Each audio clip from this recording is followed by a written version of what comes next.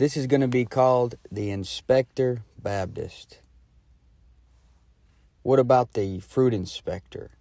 The person who teaches lordship salvation or a changed life is required for one's salvation. Number one, the inspector Baptist knows he can't do anything to deserve a perfect salvation, but thinks his own works are good enough to prove it. The only works that have anything to do with our salvation was the works Jesus Christ did when he fulfilled all righteousness and his finished work on the cross. Those works were applied to your record when it comes to your salvation. And if you're saved by works, then that would be the only works that does it, and you didn't even accomplish them yourself. Jesus did. Your own good works don't even come into consideration when it comes to your salvation. It's all work that was done by the Lord Jesus Christ. That's what's on your record when it comes to your eternal salvation. Your own personal works, your own personal righteousness. That's a separate issue than your salvation. That is about discipleship. There's a difference between salvation and discipleship. The Bible is so clear, and most of the people that listen to me, I, I don't even have to tell them this, but a lot of people simply don't understand. Romans 4 5 and 6. But to him that worketh not, but believeth on him that justifieth the ungodly, his faith is counted for righteousness. Even as David also describeth the blessedness of the man in whom God imputeth righteousness without works. God gave me the righteousness of Jesus Christ at salvation. When you doubt your salvation, you shouldn't remind yourself about good works you have accomplished to reassure yourself that you're saved. And you shouldn't remind yourself about bad works you've committed to make you think that you're not saved. You should look at the time when you believed the gospel from the heart. But the inspector Baptist causes people to look to their works to determine did I truly get saved? And that may not be their intention, but that's what happens when a preacher consistently teaches the people you're not saved if you did this. You're not saved if you do that. If you're not consistently showing your faith by your works, then you really didn't get saved. The more he teaches that, the more that person will look towards their works as the determining factor instead of that moment when they believe the gospel. And Acts 26 20, Paul said that they should repent and turn to God and do works meet for repentance. I am nowhere denying that a Christian should have good works. He, of course, he should have good works. We should do works meet for repentance, works that would, would match what we believe. I mean, no one is encouraging people to go live like the devil. However, doing good works meet for repentance are done for the sake of somebody's testimony not to prove salvation. I mean, I don't I don't do good works to prove my salvation to people. I do it because the Bible says to, and I, I believe God wants me to do right, and I feel I feel guilty and wicked before God if I don't do what He would, would have me to do according to the Bible. It's not to prove salvation, it's for my testimony. I don't want people thinking that that I don't live like I profess to believe.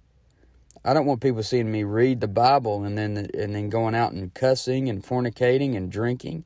I'm all about cleaning up your life and getting it as close to perfection as it can be. I'm just not for telling people remember that if you drink, you probably didn't really get saved or if you're living living with your girlfriend, you probably really didn't get saved. I don't do all that. I don't say all that stuff because that stuff is about discipleship it's not about salvation. I should do works that match what a Christian should do. However, that doesn't mean that I always am doing good works that match what a Christian should do. Whether an inspector or Baptist knows it or not, he is consistently living in self righteousness if he thinks that he's living a good enough life to prove a perfect salvation. There's always somebody that lives better, there's always somebody with a higher standard. So they may look at you and say, oh, he's doing that. I don't agree with it. I don't know if a safe person could really do that or not. I mean, you could have everything in your life just perfect, but then maybe you use Facebook or something and somebody will say, if you use Facebook, you're you're in sin. I don't see how a Christian could get on a in an ungodly social media like that and still claim to be a Christian. I've heard a people preachers say that they say if you have Facebook, you are in sin. So if that's true, if if you have Facebook and that's a sin, then you do have a sinful lifestyle according to him. And if he was somebody that was an inspector Baptist looking for a changed life or a lifestyle that was pleasing to God in order to prove salvation, he would say that you're lost. Even though you don't drink, you don't smoke, you don't fornicate, you don't do all these other sins, but since you got that sin, then you're lost according to him. And see, that's the problem is eventually the person's going to place their own convictions on there and he's going to start saying people's not saved because they're not meeting his own standards. You see, when you teach a changed life is required, you start putting your own standards in there. Now, the next thing, the inspector Baptist can't remember to rightly divide the flesh from the spirit when it comes to us being a new creature. In 2 Corinthians 5 17 and 18, it says, Therefore, if any man be in Christ, he is a new creature. Old things are passed away. Behold, all things are become new, and all things are of God, who hath reconciled to us himself by Jesus Christ, and hath given to us the ministry of reconciliation. So, when it comes to the new creature, old things are passed away, all things are become new, and all things are of God. This is highly abused, these verses here. Very abused. I've heard it thousand times, not just by preachers, but by Christians, that they abuse these verses. The inspector Baptist will examine your life and tell you that a genuine Christian wouldn't do what you're doing because a true Christian is a new creature and there's no way that he would do what you're doing. That's what he would say. Although he doesn't claim any Christian is sinless, he would almost he almost has to teach that a Christian is sinless to use the term new creature in the way that he's using it if he's consistent. You would have to teach that someone's sinless. Look at the context of new creature. It says old things are passed away. It says all things are become new. And then in the next verse, in verse 18, it says, and all things are of God. So if new creature means that a person's going to live a changed life, he's going to have to have everything change, not just his pet sins. It's going to have to be all of it. It said, All things are of God, all things are become new, old things are passed away. If that's referring to a Christian should have a changed life after salvation or he really didn't get saved, to be consistent, you're going to have to teach sinless perfection just like the holiness. If new creature meant a person was incapable of living an ungodly lifestyle after salvation, then it would have to mean it was a sinlessly perfect lifestyle. It says, Old things are passed away, all things are become new. Then the next verse says, And all things are of God. But the new creature has nothing to do with the flesh, and even though most Inspector Baptist understand standing versus state, they know all about it. They know all about how you got two natures. They know all about the old man and the new man. But when they get to this verse, they forget for some reason that the new creature has to do with the spirit, the inner man. The inner man is what's born of God. The inner man is the one that doesn't sin. 1 John 3 9 says, Whosoever is born of God doth not commit sin, for his, his seed remaineth in him, and he cannot sin because he is born of God. The new creature, your inner man, doesn't sin. That's what's born of God. See, the holiness crowd would love to take you to 1 John 3 9 and say, See, if you're born of God, you don't commit sin, and you cannot sin. And therefore, if you sin, then you're really not saved, or something like that. But the holiness crowd do not understand your two natures at all. They don't understand the flesh versus the spirit. And for some reason, the inspector Baptist, when he gets to 2 Corinthians 5 17 and 18, he forgets about all this stuff too. But see, it's the new man, the new creature, your inner man does not sin. However, you still have the battle with the old man, the flesh. and he isn't a new creature at all. He isn't of God at all.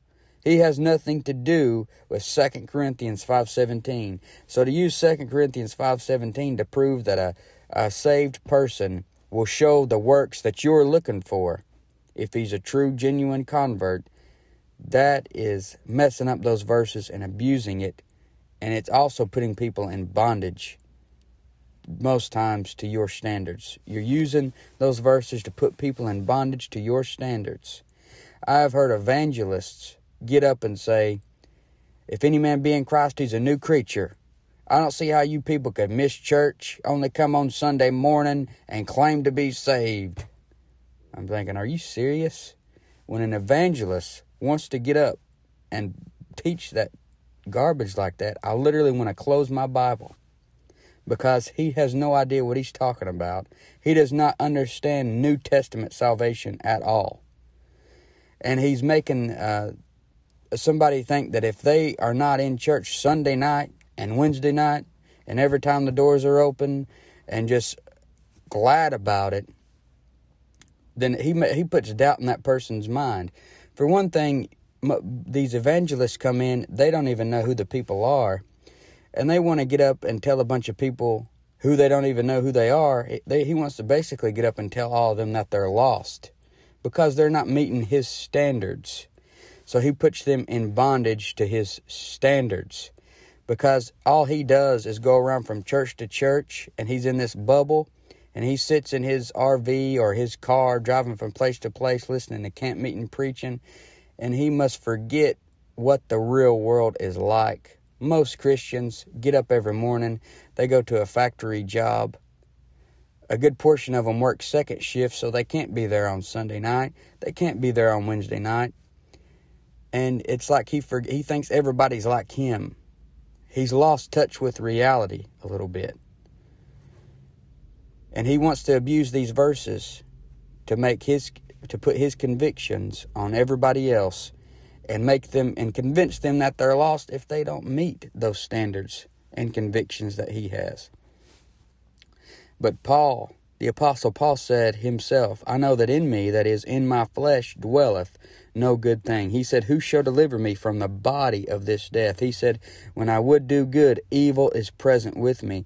Paul called himself a wretch and the chief of sinners. He recognized that he still had sinful flesh. He recognized that he could choose to walk in the flesh or to walk in the spirit. The inspector Baptist has a hard time distinguishing between the two when it gets to 2 Corinthians 5:17. But other times he'll flat out tell you. He says, "I know that I'm a sinner." He'll tell you that I, I fail God every day. There's times where he he gets it right but then when he gets to verses like 2 Corinthians 5:17, when he gets in a mood to where he wants to guilt people into doing certain things, he starts with the inspector Baptist stuff. And it, it, always results in hypocrisy. It always re- results in talking out of both sides of your mouth. It results in just double speak. You see, when you're teaching something as inconsistent as this, you're going to find yourself contradicting yourself over and over and over again. One minute you're going to be saying that you can't have a sinful lifestyle and be saved. The next minute you're going to be saying that a, a Christian could go back and commit the sins he did as a lost person. It just depends on what you're trying to get across, and you're using it whichever way is the most convenient for you. That's the, one of the dangers of this teaching is it's very inconsistent it results in double speak. The next thing, he has to thank every Christian if he's consistent, if the inspector Baptist is consistent when it comes to 2 Corinthians 5:17 and what he claims it to believe, if he believes that every Christian will have a change of life, then he must think every Christian will be highly decorated at the judgment seat of Christ and get an MVP award in the Hall of Fame and everything at the judgment seat of Christ if he's consistent. If every Christian that gets born again will turn out living a godly, separated lifestyle and not in an ungodly lifestyle, then would everyone at the judgment seat of Christ get crowns, gold, precious stones, and inheritance? Millennial millennial inheritance when he gets to the judgment seat of Christ. Why does he warn about warn Christians about not getting anything when they get to the judgment seat? Why does he warn them about their works being burned up? And why does he say in 2 Timothy 2:12, if we suffer, we shall also reign with him. If we deny him, he will deny us. He says if we suffer. Notice Paul's use of the word if, showing that it is possible for a Christian not to suffer for the Lord. The truth is, there are plenty of Christians who are truly born again who do absolutely jack diddly squat nothing for God and will end up with nothing at the judgment seat. Doing absolutely nothing for God is an ungodly lifestyle.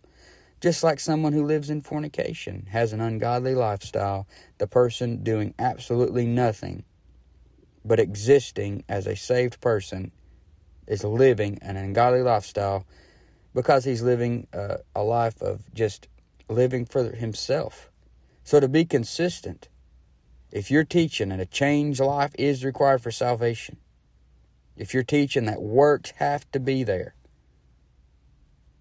then you're going to think every Christian will be a Hall of Famer at the judgment seat. Even if he doesn't, even if he, uh, even if you know, it's like a lot of times they know about the standing versus state. They know that there's a difference between the flesh and the spirit. But yet they want to say that every Christian's going to have the works. So if you're going to be consistent, then you have to say everybody at the judgment seat is going to rack up. But the inspector Baptist forgets that Christians have a choice to choose between righteousness or unrighteousness. There is a choice. For every everything you do, you have a choice. When you get up in the morning, you have a choice. Are you going to do something for God today or are you going to live for the flesh today? When there's an opportunity to sin, you have a choice. Am I going to do this or am I not going to do this? God doesn't force you to do it. The new man in you does not force you to do it. In Romans 8, 12, and 13, it says, Therefore, brethren, we are debtors not to the flesh to live after the flesh. For, for if ye live after the flesh, ye shall die. But if ye through the Spirit do mortify the deeds of the body, ye shall live. Paul warns Christians that if they live after the flesh, they will die. But I thought a Christian had to have a changed life or he wasn't truly saved, according to the Inspector Baptist. This this verse proves he has a choice. He has a choice to live for the flesh and die, maybe cut his life short, or to mortify the deeds of the body through the Spirit and live. The Calvinist teaches perseverance of the saints. He teaches a person who is truly elect would not live like a lost person. Now, the Inspector Baptist will be very against Calvinism, which I am too. But he teaches something similar. He teaches that if a person doesn't have the works, then he really isn't saved, which is perseverance of the saints. The Calvinist teaches if somebody's really elect, he'll have the works. Whereas the Inspector Baptist teaches that if a person is really saved, he will have the works. God doesn't make you live right. It's a choice. A Christian has a choice, and if he makes the wrong choices, it doesn't mean he's lost. It means he makes bad choices. It means he isn't walking in the Spirit. It means he's choosing to live for the flesh.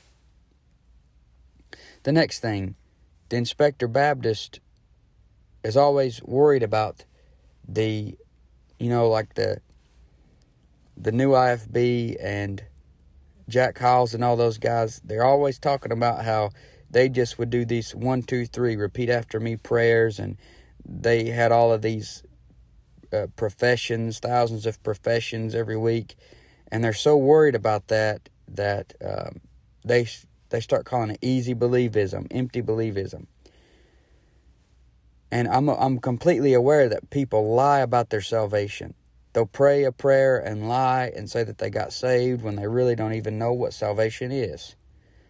I mean, I'm completely aware of that.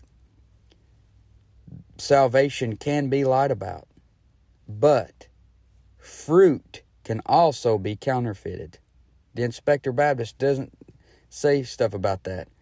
The Inspector Baptist is all about calling out false converts and saying someone really didn't get saved. They're all about saying someone is lying about their salvation. Obviously, a person can lie about being saved. They can lie and say they believe from the heart when all they did was pray a prayer to get rid of a soul winner. I mean, I'm not stupid. I know people do that.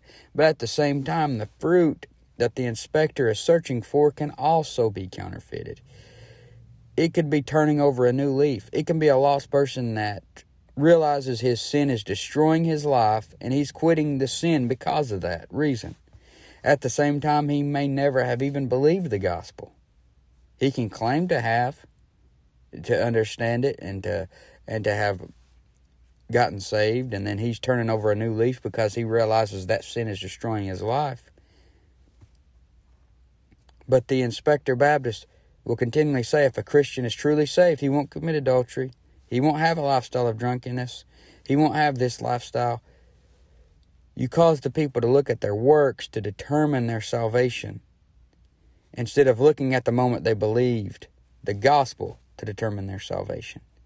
Just like a works based salvationist is focused on his works to get saved or stay saved, the inspector Baptist causes men to focus on the works of the flesh to prove to themselves and to other people that they are saved this leads to bondage because you're going to eventually have to meet certain standards and convictions that they have that aren't even in the Bible.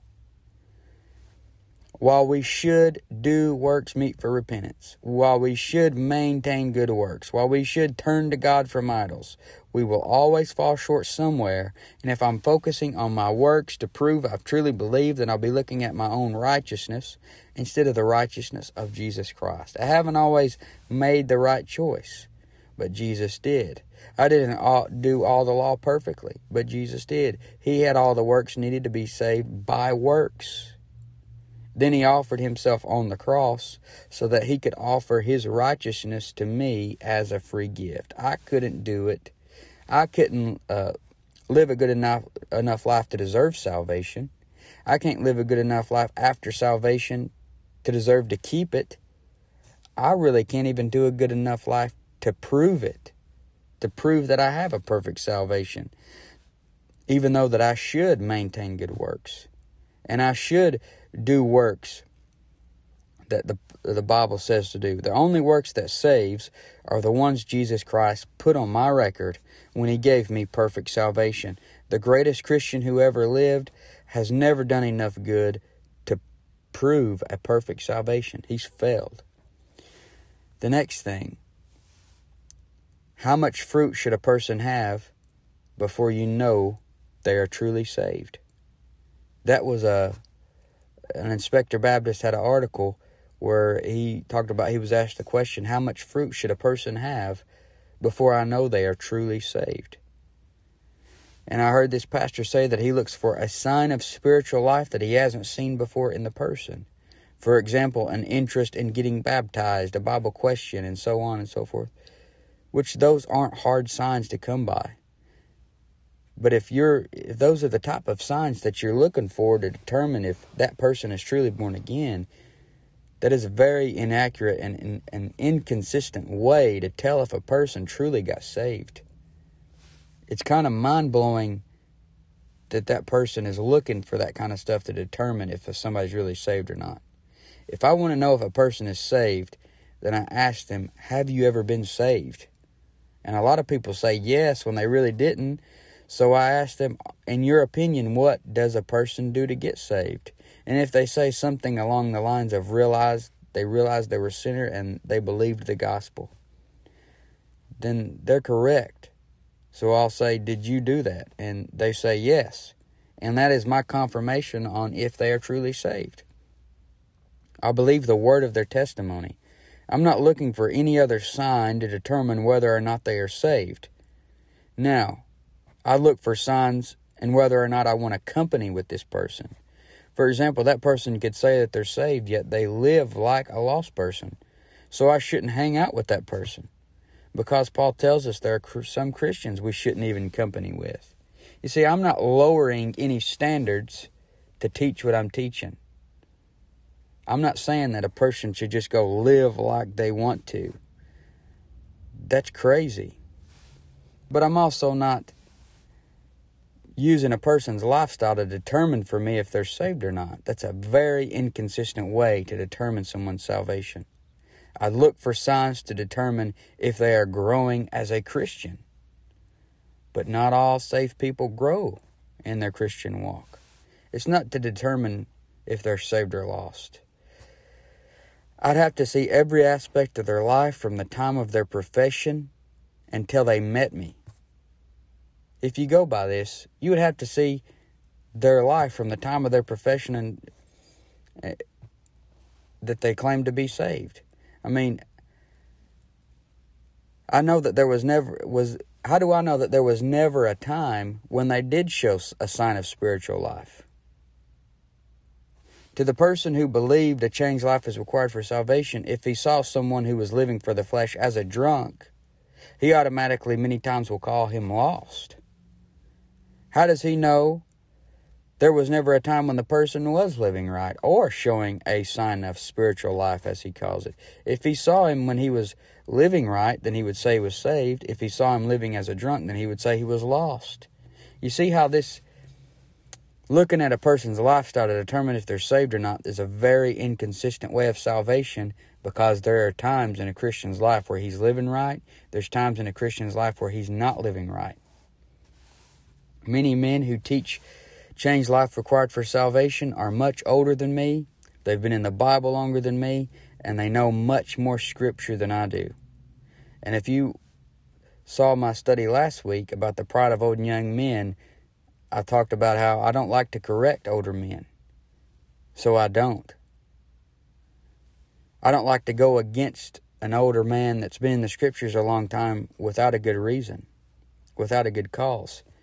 Many of the people who teach this I respect and I think are way better Christians than I ever could be, no more Bible than I could ever know. But to me, this that they're teaching is very inconsistent teaching on their part. And I believe that it's it's not good for people to, to hear this type of preaching.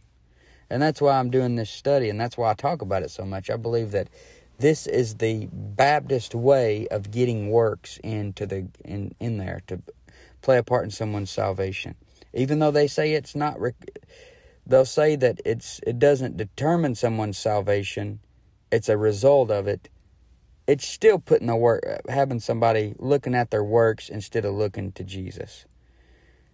How many times have you seen a person come to your church, come up and claim to get saved? Maybe they did and maybe they didn't. Then they get baptized, they get a King James Bible, they show interest by coming to services. Then a few months later, they are back to how they were before they were saved. This happens thousands and thousands of times. I've only been saved for a little over 10 years and I've seen it tons of times. Now, they the the guy who is looking at works would say they were saved because of those first few months. But if a guy up the street who is a fruit inspector who doesn't know the person, who didn't see that change in their life, that he's looking for. And it, so he's also looking at their works. When he sees the person living for the flesh again, he says, Well, this person's obviously lost. Whereas when he's seen them for the first few months, he'd say, Man, that person got saved. But if he sees them now living for the flesh, he would say, I don't care if they say they're saved or not. A saved man wouldn't act like that. He never saw any of the fruit that the person had in the first few months of being saved. He only sees the person's state that they are currently living in now and says they're lost. So you see how looking at works to determine a person's salvation is a very inconsistent way of determining a person's salvation. And that's the thing. I can't see your heart. I can't see your standing in Christ. I see your state, how you're presently living. I see how you're living in the flesh and the thing is, I don't even see all of that. You could be a great saint of God out in the open and be wicked as the devil in your house. I'm not God. And not only can I not see your heart, I don't even see what you do behind closed doors. So I could look at a person's um, works that he's doing out in the open, and he could have a really good life out in the open and be a pedophile at home.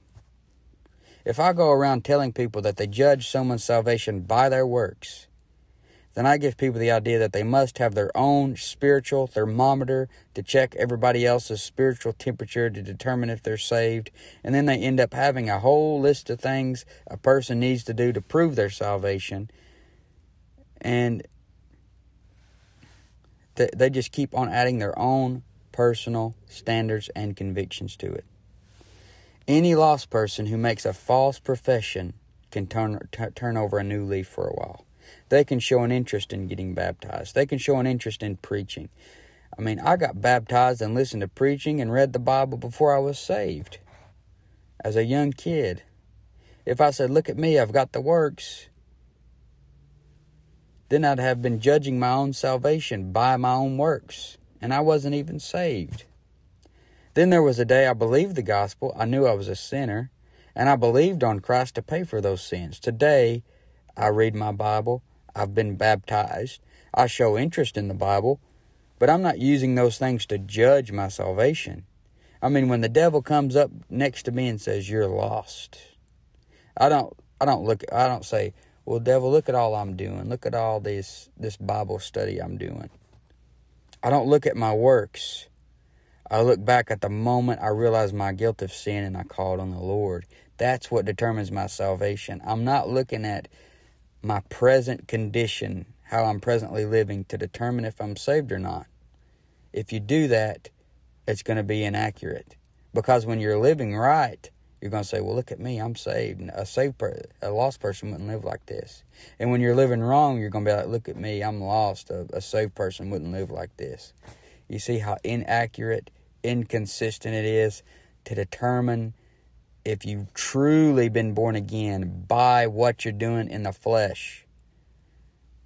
The people that go around teaching this, it's almost shocking because there's a lot of Bible students, Bible believers, men that know the Bible very well, yet when it comes to this topic, they're so worried about a false possible false converts. They're so worried about a person living in sin and abusing the grace of God to the point that they want to teach that they're really not saved if they're not living for God.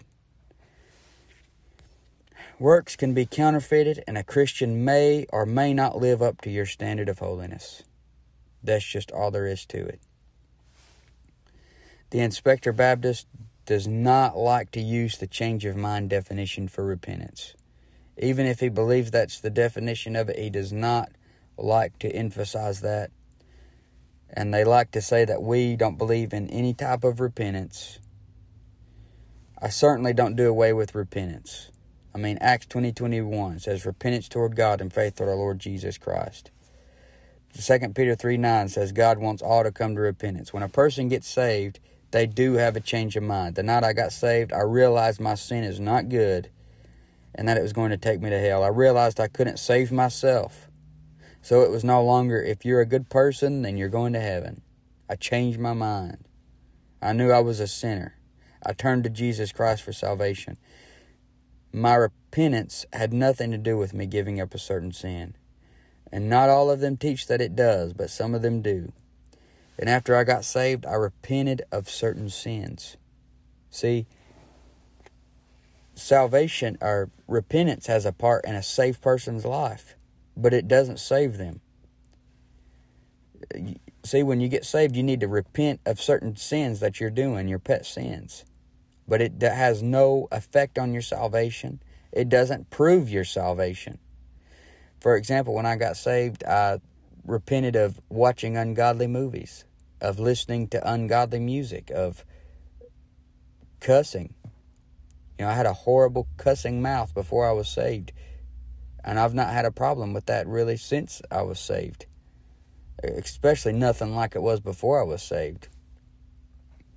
So I repented of those things. It, it obviously had nothing to do with my salvation. It didn't affect my salvation one way or the other. It doesn't prove my salvation. The Inspector Baptist says that requiring a changed life doesn't add works to salvation because those works aren't to get one saved, but are rather the result of one being saved. And that's not necessarily true. When a Christian does good works, those works might not might not even be truly good works. because they have might have been done with the wrong motive. Uh, the works could have all been done for vainglory. They could have been done for the purpose of looking the part.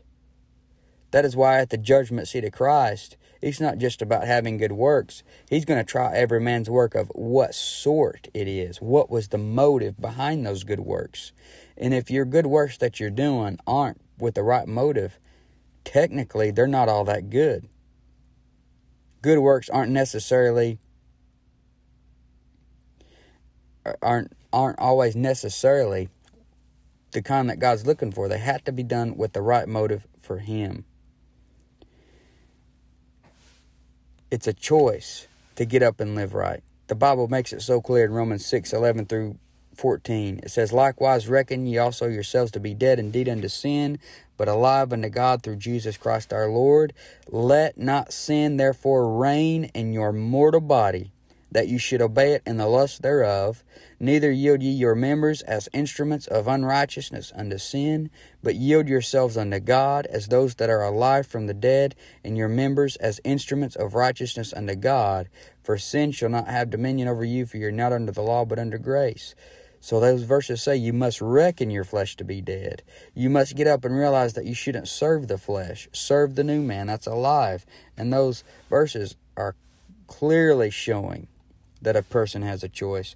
The, the inspector Baptist, when it comes to this point, he'll overlook the fact that Christians consistently choose to yield their members as instruments of unrighteousness instead of instruments of righteousness.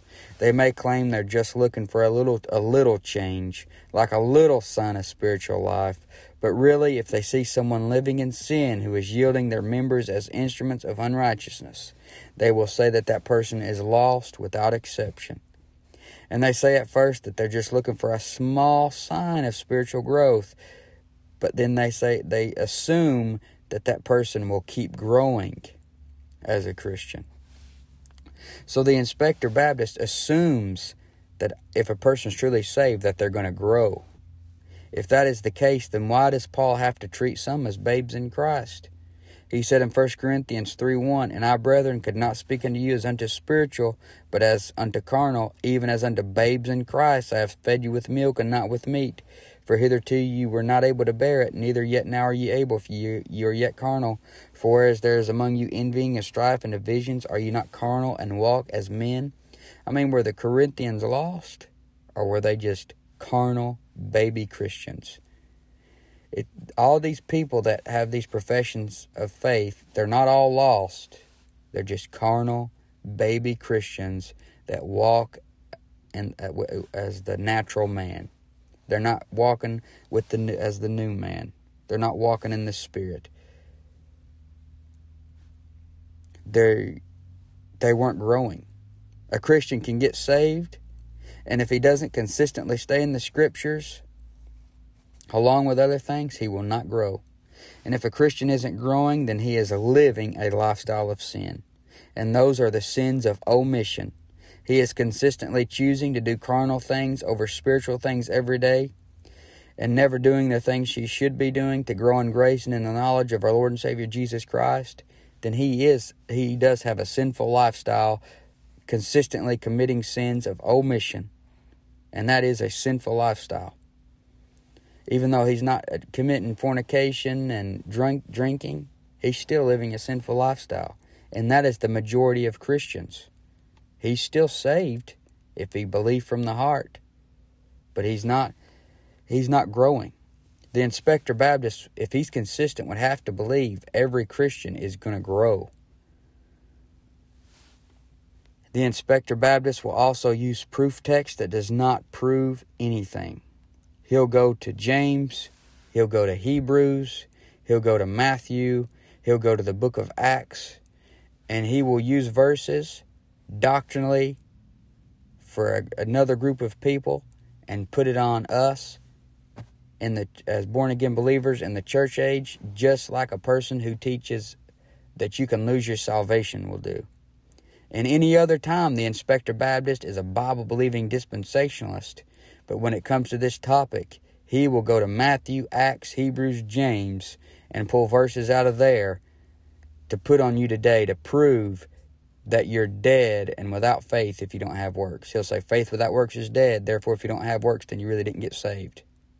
He'll go to James 2 and everything else. Even though any other time, he's a Bible believing dispensationalist that knows how to rightly divide.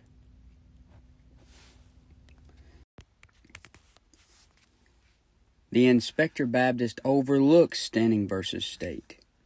And some of them know what standing versus state is, as I've said, but they overlook it. They've believed it since before I was born, but they overlook it when it gets to this topic. Whether they admit it or not, they say they are taking both things into account. They say if a person is truly standing in Christ, then he will show evidence in his state. Once again, you have to realize that that is only if they yield to the Holy Spirit. If they walk in the Spirit, then they will do they'll have the fruit of the Spirit. And sometimes you do, and sometimes you do not. Maybe there are times when you are singing in the choir and the fruit inspector might say, Man, that boy's got the goods. I can tell he loves God. Then he might walk in on you in a temper tantrum with your wife and say, Man, this guy's lost. He can't be saved. There's no way I would talk to my wife that way.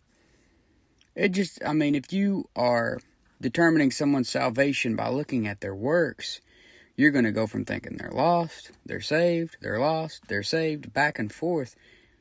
Why don't you just ask them if they're saved? If they tell you that they realize they're guilty of sin and believe the gospel, then take them at their word. That's all you can do. To determine a person's salvation by their state is very inconsistent, and that shows that he doesn't really understand standing versus state, or else he doesn't want to acknowledge it when it comes to requiring a changed life or salvation. Now, if you want to say that there is something in a person that wants to do right after they are saved, then that's true. Because Paul said in Romans 7:22, "For I delight in the law of God after the inward man."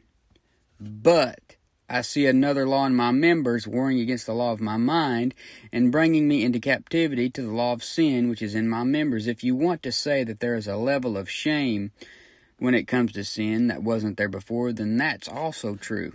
Romans 6:21 What fruit had ye in those things whereof ye are now ashamed for the end of those things is death.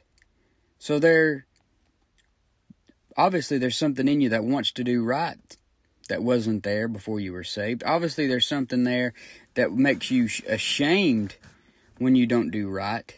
That is, if you don't if you don't get a seared conscience. I mean, if you continue in a certain sin, you're gonna get you're gonna just get worse and worse with it, and it's gonna be nothing to you. But when you get saved, there's that shame there, and there's that something in you that does want to do right. If you're saying that, then that's okay. But to say that a, you determine a person's salvation by what they're doing, that's not right.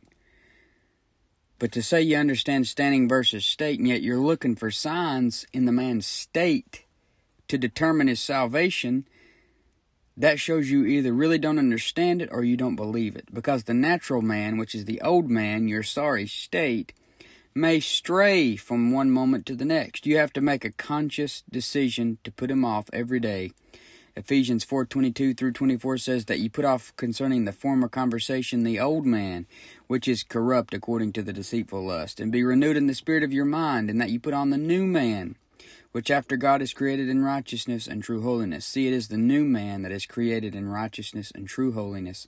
That is your new creature, not the flesh if the flesh was new, then we would all show a changed life outwardly. The fruit inspector will say that no works play a part in salvation. And that's true. Yet he seems to be looking at the saint's works to determine his salvation more than he's looking at the believer's testimony. I'm not responsible for the actions of another Christian. If a Christian acts like the devil, then I, I'll pray that they'll get saved if they're not saved and that they get right if they are saved. The Inspector Baptist would usually be heavily against Calvinism, and yet his changed life requirement for salvation position puts him right in line with the Calvinistic teaching that if a person is truly elect, then his inner man will always produce works outwardly. The Calvinist believes that if you're really one of the elect, then you you will show good works. Just like the Inspector Baptist believes, if you're really saved, then you will have good works. See how similar that is? Now, the Inspector Baptist calls what we believe empty believism or easy believism. To use the phrase easy believism as a bad thing is something I've never understood because in 2 Corinthians 11:3 Paul talks about the simplicity of the God, uh, simplicity that's in Christ. And I understand that there are people who go around telling people to pray a prayer and then telling them they are saved just because they prayed a prayer. And I understood I understand they go around from house to house telling people to pray a prayer. I understand that there are people who pray a prayer just to get rid of that person. And then that Christian will go around and say he won 30 people to Jesus that night just because he got them to pray a prayer. I understand that. But this doesn't change the fact that it is easy to believe the gospel. It's just the person really does have to believe from the heart, but it is easy to believe. And if your definition of easy believism is someone praying a prayer without believing from the heart, then sure that is wrong. But to say something, eh, to call what we believe easy believism, that's misleading because we're not saying it's just one, two, three, repeat after me, and you're saved. I mean, that would be true if you're believing from the heart. But somebody who's not believing from the heart, they didn't get saved. However, if your definition of easy believism is someone who believes and then doesn't meet your standard of works, then you're wrong. Because you're saying that it's, it's not enough to just believe. But it is enough to just believe. That's the requirement to have your standing in Christ, is to believe on Jesus Christ. Put your trust in Him. And another thing, I don't get the term empty believism. They say you, you believe in empty believism. Well, when you believed on Jesus, what did you bring to him to persuade him to save you? Nothing. You came empty handed because you remember you repented about believing on your own self righteousness. I mean, all that time you were living as a lost person. You thought, well, I'm good enough to get to heaven. But when you got saved, you realized you were a sinner. You realized that you weren't good enough to be to save yourself. You repented about your own goodness and realized you need a savior. Meaning you realized Jesus is the one that's good enough. And you turned to Jesus Christ, realizing he is the savior and not yourself. So, I mean, I don't really get the term empty believism. What that means is you don't think believing the gospel is enough. You think there has to be works that follow, or the person really didn't get it. So once again, you're looking towards someone's works to determine their salvation more than you are the person just believing the gospel. It's like this if a person comes to Jesus Christ as a guilty sinner and believes the gospel, he's saved. If he yields himself to the Holy Spirit and walks in the Spirit, then he's going to do good. If he doesn't, and he works and he lives for the flesh, he's going to do bad works and he's not going to do good. There's a choice, and if it, whatever a person feeds the most, that's what's going to come out. If he feeds the flesh, he's going to do fleshy things. If he feeds the spirit, he's going to do spiritual things. But this has been a study on Inspector Baptist.